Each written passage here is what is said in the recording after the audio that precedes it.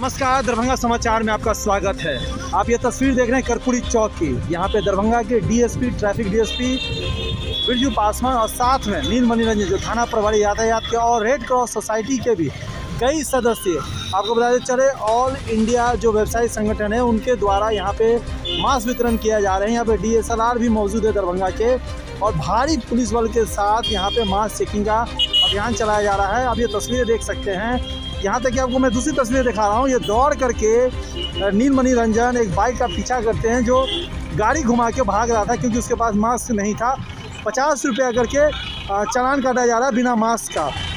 अब हम आपको यहाँ के जो रेड क्रॉस सोसाइटी से जो लोग यहाँ पे वितरण कर रहे थे उनका और D S P Vijay Paswan का सुनाते हैं कि इस मास्किंग अभियान को लेकर तो क्या कह रहे हैं। क्या कर रहे हैं अभी? मास्क की चेकिंग कर रहे हैं। कारण? कोरोना को देखते हुए मास्क की चेकिंग की जा रही है। जो लोग मास्क नहीं पहने हुए रहते हैं उन्हें दंडित किया जाता है और साथ में फ्री में मास्क भी दिया जाता है। वैसे साइकिल सवार रिक्शा सवार लोगों को निःशुल्क बांटा है। सर ये मास्क चेकिंग अभी तक कितने हो चुका है? कितने फाइन कट चुके हैं? कर्पूरी चौक के पास अप्रॉक्स चालीस फाइन कट चुका है अच्छा सर एक बात बताइए एक चनाल पचास रुपये कटता है वही व्यक्ति अगर दोबारा बिना मास्क का पाया क्या एक्स्ट्रा भी चार्ज दिएगा या अभी वो भी पचास रुपया रहेगा? नेक्स्ट डे अगर वह व्यक्ति फिर बिना मास्क का पाया जाता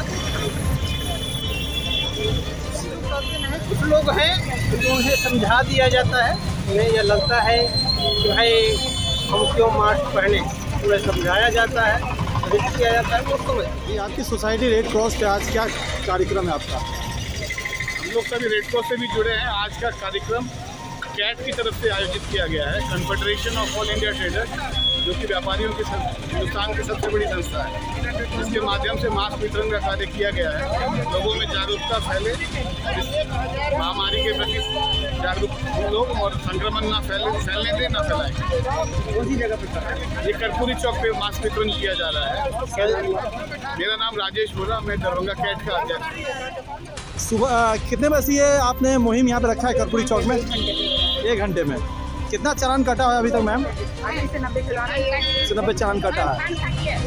ये क्या नाम है, मैम आपका?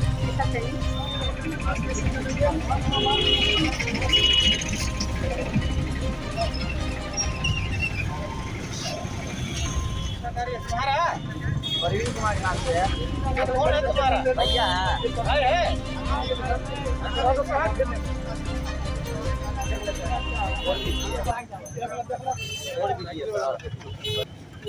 गाड़ी लेके अचानक क्यों भाग रहे थे? आप गाड़ी लेके क्यों भाग रहे थे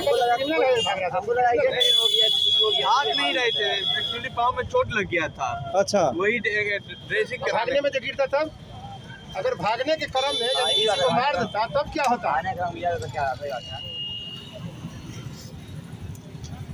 बहाना बनाता है उल्टी हो गया वसी हो गया। मास्क लगाता क्यों फाइन करता? मास्क क्यों नहीं लगाया हुआ